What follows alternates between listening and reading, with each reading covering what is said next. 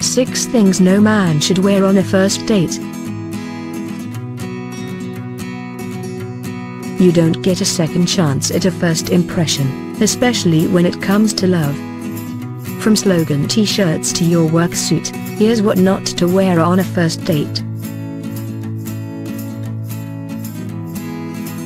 First dates are always going to be a stressful experience, you're jacked up on the could be lethal combination of adrenaline, the pressure to be charming and the hope of getting laid, with the added danger of getting wired on coffee or drunk on alcohol. So the last thing you need is extra worry about the sort of style slip up that'll have your date openly feigning the skeets just to escape. First impressions matter, even post Tinder, which is why we've pulled together a definitive list of what not to wear. Swipe left on all of them. A hilarious t-shirt. If you're the kind of guy that buys his basics at a tourist trap in central London, you need to stop right now. Any slogan or image emblazoned across your chest that has to be justified with the words, chill out, it's just banter, in it, is going to be a turn off. This rule is amplified when the t-shirt in question is even vaguely misogynist or creepy, so save your FBI, female body inspector and sex instructor, first lesson free designs for painting the house or, you know, when you're short of kindle for a bonfire. In fact, we're going to say that any kind of slogan t-shirt should be off limits, even that one that says pick flowers, not fights. In short, it's you who should be hilarious, not your shirt. A guy's main aim on a first date is to not scare, or offend, his date away from the get-go. Instead of a slogan t-shirt or anything with a bright eye-watering print, opt for a shirt in a subtle color such as white or sky blue. It's the perfect in-between to avoid dressing too smart or too casual. Gordon Richardson, Topman Creative Director a bare ankle. Controversial, perhaps, but mankles are marmite in the dating world, so it's best to err on the side of caution and go all Victorian by covering them up for an initial meet.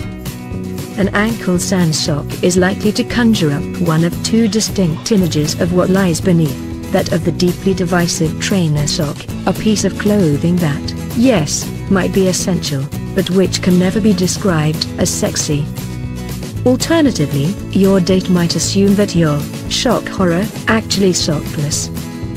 Given that it's date number one and they have no idea how thorough your hygiene regime is, it could be taken as an indicator of pongy toes. It's never good for your date to get even a whiff of the idea that your feet might smell.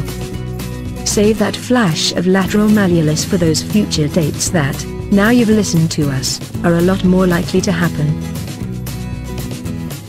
This depends on your shoe of choice. If you're a dapper chap in a pair of brogues, go with a bright flash of sock.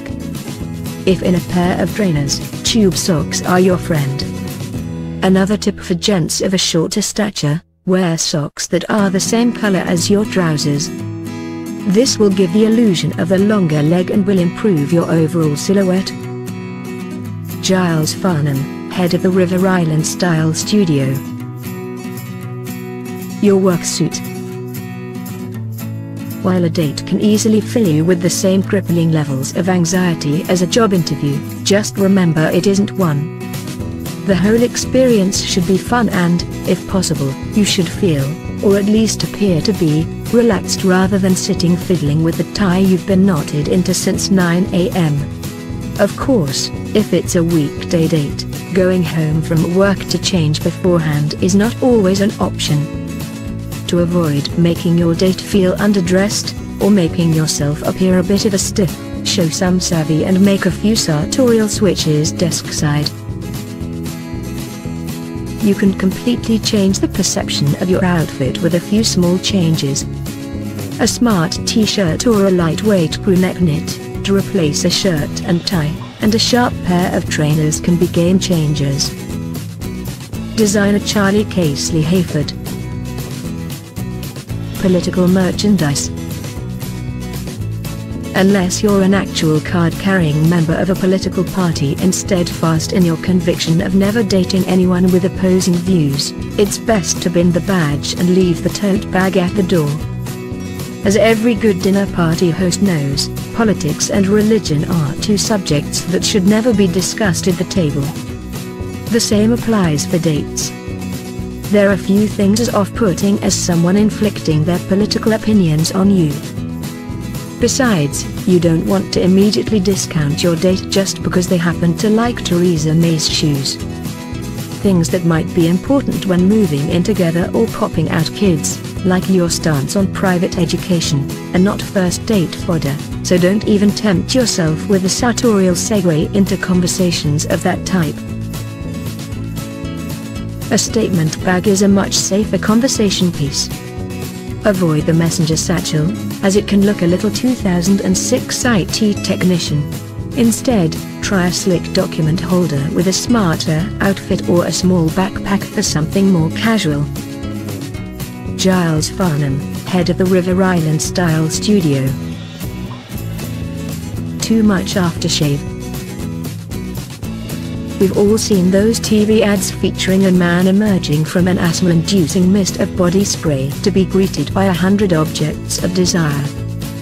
Who doesn't want to believe that a heavy spritz of scent can have that effect? However, too much is more likely to do the opposite and have your date coughing and spluttering as they run for the hills. Your date night grooming should be subtle. Overdoing it on the fragrance front also subconsciously says, I couldn't be bothered to shower, so I'm masking my mask. As we said earlier, don't give them the chance to question your personal hygiene. After all, a first date is the time that you're supposed to at least pretend that you're a nice gentlemanly type. You want your date to lean closer and catch a whisper of your fragrance, not sit the breathing through their mouth throughout. Choose a scent that you feel comfortable in and apply spritz to either each wrist or bicep and one in the dip of each collarbone. British perfumer Roja Dove Wooden accessories Oh, how charming, you think to yourself as you fasten your wooden watch. She'll think this is brilliantly quaint, as your iPhone, safely encased in a whittled cover, is slipped into your trouser pocket. Wrong. So very wrong. You know how we said that ironic t-shirts aren't for first dates? Well, neither are pretentious accessories that pretend to be from a simpler time.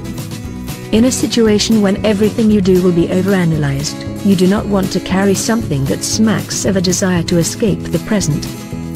Ultimately, you don't want to give the impression that after a few months of dating you'll want to run away to the woods to hide from the world and get your whittling on. Just as it pays to keep your clothing pared back, wear only subtle accessories like a minimal watch or simple jewelry in classic colors and metals to avoid that bling-why look.